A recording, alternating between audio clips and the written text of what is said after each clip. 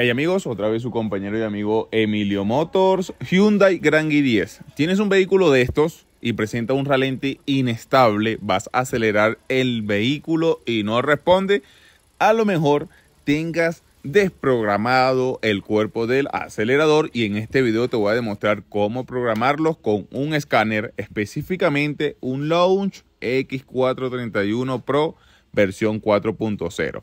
Vamos a abrir el switch y entraremos en el software de Hyundai, porque esto es un Hyundai Grand i10. Software de diagnóstico Hyundai, la versión es 51.91. Cabe acotar que este procedimiento se puede realizar con otra marca de escáner, pero nosotros poseemos es este escáner de la marca Launch, el cual nos ha servido muchísimo. Es un buen escáner.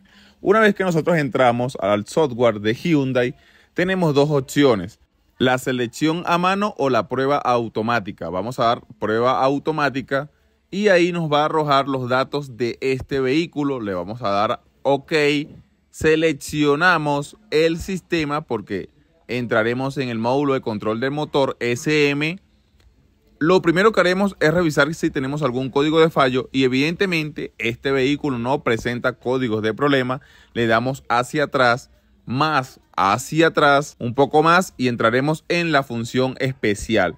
Aquí encontraremos varias funciones, pero nosotros vamos a seleccionar la primera, reinicio del sensor electrónico del acelerador. Le vamos a OK, pero tendremos que tener el motor apagado y el switch en posición de on. Le vamos a dar OK y de esa manera nuestro escáner va a restablecer los valores de nuestro cuerpo del acelerador electrónico. Aquí vamos a cerrar el switch y posteriormente vamos a encenderlo. Notaremos que las RPM se van a elevar un tantico porque la temperatura del refrigerante del motor de este vehículo está completamente frío. Por ende, notaremos que las RPM están un poquito elevadas. A medida que la temperatura del motor se eleve, las RPM irán descendiendo. Este procedimiento se debe hacer cuando se desprograma el cuerpo del acelerador de este vehículo. ¿Por qué se desprograma? Porque se reemplaza la batería o porque se limpia el cuerpo del acelerador y se manipula la mariposa del mismo.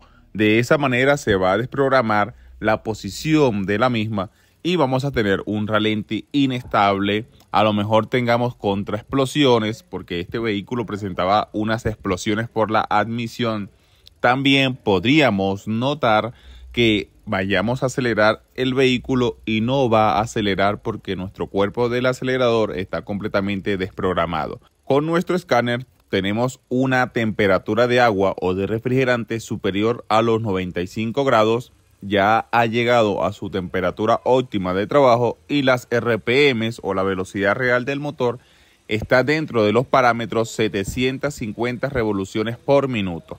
Y bueno amigos, este es el video que te quise traer en esta oportunidad. Espero haberte ayudado, espero haberte informado. Y si te gustó, espero tu like y tu suscripción.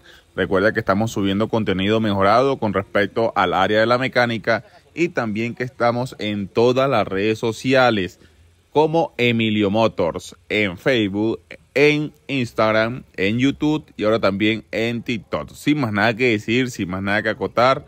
Nos vemos en la próxima Emilio Motors. Si era todo bien el carro, no, ¿para qué? ¿Qué carro es? No, el Kia Dorado, el Dorado.